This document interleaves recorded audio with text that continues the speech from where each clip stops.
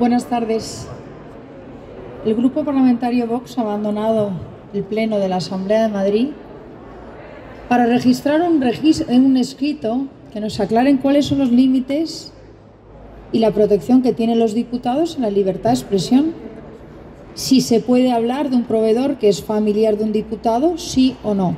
Nosotros en este pleno hemos aguantado que se nos llamara nazis, ultraderecha, los doce apóstoles del odio, que chapoteábamos en la sangre de determinados colectivos. Se ha hablado de familiares míos aquí y nunca la presidenta de la mesa ha pedido a su diputado que saliera.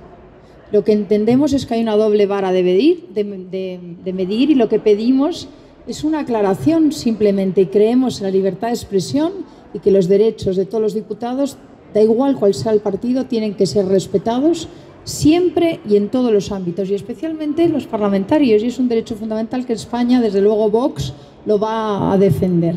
Muchas gracias. Si tienen alguna pregunta.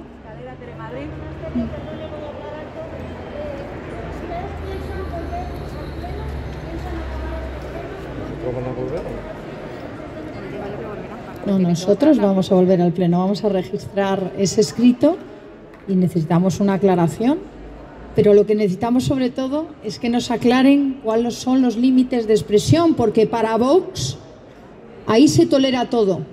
Cuando es otro, se manda a los servicios de la Cámara que salgan. Entonces, queremos la igualdad de trato de todos los diputados de esta Cámara.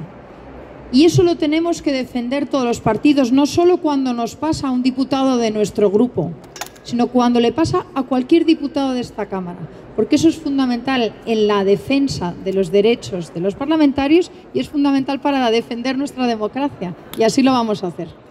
¿Alguna más? Sí, yo. Sí.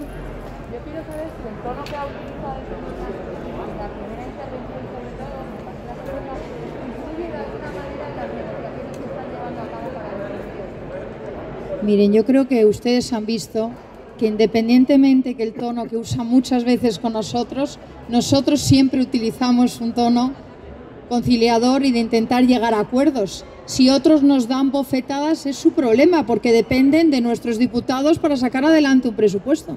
Es así. Pero nosotros, desde luego, eh, no lo tomamos como una ofensa, no cambiamos nuestro tono porque nos insulten. Y han visto ustedes a la señora Cuartero salir elegantísima y rigurosísima y con unas contestaciones técnicas a un pleno que es de contratación. Es un pleno de defender dónde van los recursos de los madrileños y, ser rigurosos en la contratación, que es nuestra obligación y es la obligación de un gobierno, nada más. Nosotros no vamos a cambiar el tono porque nos insulten. ¿eh?